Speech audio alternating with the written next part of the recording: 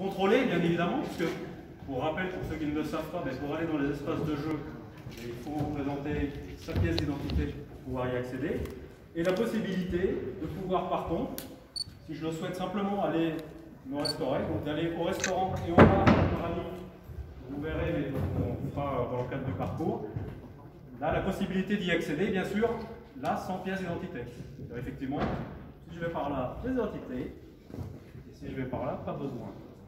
Donc là, on va d'abord commencer, je vous invite à me suivre, nous allons aller dans l'espace euh, contrôlé, pour l'instant avec euh, la chance de ne pas avoir à présenter sa pièce d'identité.